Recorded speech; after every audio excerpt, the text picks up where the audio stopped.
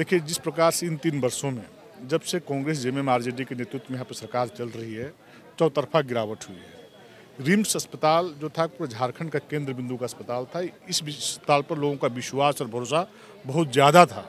लोग दूर दूर से आते थे, इलाज कराने के लिए और ठीक होकर जाते थे।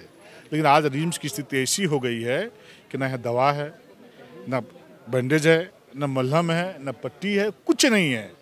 न डॉक्टर समय से आते हैं, न समय से जाते हैं। कोई देखने वाला यहाँ पर मरीजों को नहीं है।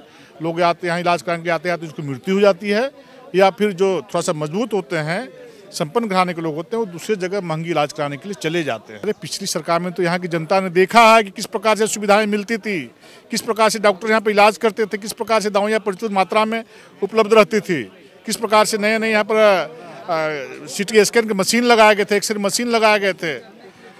डायलिसिस मशीन लगाया गया था। आप क्या कर रहे हैं? उसको तो ठीक से मेंटेन नहीं कर पा रहे हैं। डॉक्टर यहाँ से मरीज़ को अपने क्लिनिक पर ले जा करके देखने का काम कर रहे हैं। कोई देखने वाला नहीं। इसका स्पष्ट है कि यहाँ का पैसे का वारा न्यारा हो रहा है। कल जैसा कि सुना कि बोर्ड की बैठक थी, लेकिन ये कांग्रेस जोड़ो यात्रा में निकल गए देश जोड़ो यात्रा में। कैसा देश जोड़ रहे हो? झारखंड राज्य की जनता को तबाह कर रहे हो देश झारखंड राज्य का? आप देश देश जोड़ने चले गए। इसका मतलब है कि यहाँ की जनता साहब कोई लेना देना नहीं है विप्स प्रबंधन से कोई लेना देना नहीं है। कल की बोर्ड की बैठक में बहुत सारे मामले का निष्पादन होना था। लोगों ने कहा कि दवा दारू के विषय में बात होनी थी बैंडेज के बारे में बात होनी थी टेंडर के बाद में लोग सामान नहीं खरीद पा रहे हैं। तो बैठक होती तो शायद कुछ कल्याण की बात होती, लेकिन कल्याण से कोई मतलब नहीं है। उन लोगों का सिर्फ़ है अपना कल्याण। राज्य का कल्याण नहीं राज्य की जनता का कल्याण नहीं। ये नाटक करते फिर चल रहे हैं देश जो रोज देश जो देश टूटा कहाँ जो? तोड़ने का काम तो तुम लोगों ने किया था आप लोगों ने किया था देश को। देश को तबाह करने का काम दो हज़ार चौदह से पहले क्या याद करो ना जमाना रोज स्कैम का खुलासा रोज घोटाला का खुलासा आज क्यों घोटाले यार स्कैम हो रहे हैं? आज मोदी जी के नेतृत्व पूरा देश क्यों आगे बढ़ रहा है? देखिए सुधरने वाले लोग नहीं है। जनता इनको सुधारने का काम करेगी। उसका कोई उपाय नहीं जनता सड़कों पर उतरेगी अपने आप सुधर जाएँगे। कैसा खतियानी जोहार? घर से बिजली गायब खेत से बिजली गायब बारिश से बिजली गायब बच्चों के पढ़ाई से बिजली गायब, हॉस्पिटल से बिजली गायब, कैसा खतियानी जोहार कर रहे हैं? यही धोखा दे करके तो सरकार इन लोगों ने बनाया कि युवाओं को भत्ता देंगे युवा पूछने पूछेंगे जिला में जा करके मेरा भत्ता का कहा हुआ? मेरा पाँच लाख नौकरी कहाँ गया?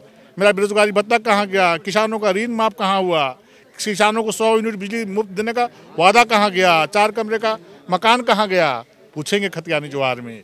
ये झूठ बोलने वाले ठगने वाले लोग हैं समाचार पत्र में बयान दे करके सत्ता चलाने वाले लोग हैं। से कदम और बोलो इनको केंद्र सरकार रोकती है केंद्र सरकार नहीं करने देती है। जिसमें इच्छा शक्ति रहती है जिसमें जनता का सेवा का करने का जज्बा रहता है उसे दुनिया की कोई ताकत नहीं रो सकती है। जो मुख्यमंत्री अपने नाम से खनन पट्टा का लीज ले जो मुख्यमंत्री अपनी पत्नी के नाम से ज़मीन का आवंटन कराने का काम करे जो मुख्यमंत्री अपने भाई के नाम से खनन पट्टा का लीज कराने का काम करे अपने आप सचिव के नाम से लीज कराने का काम करे वो देश के राज्य की जनता के बारे में क्या चिंता करेगा? इसलिए ये अपने आप से रुकते हैं, चूँकि स्वार्थ की, स्वार्थ का गठबंधन है और आपसी लेन देन का गठबंधन है। इसलिए झारखंड की जनता आज तबाह तबाह है। झारखंड की जनता समय आने पर मुंहतोड़ जवाब देने का काम करेंगे इसी स्वार्थी गठबंधन के लोगों को। अपने राज्य से जुड़ी हर ताज़ा खबरों के लिए आप हमें सब्सक्राइब करें, साथ ही बेल आइकन बटन दबाना ना भूलें।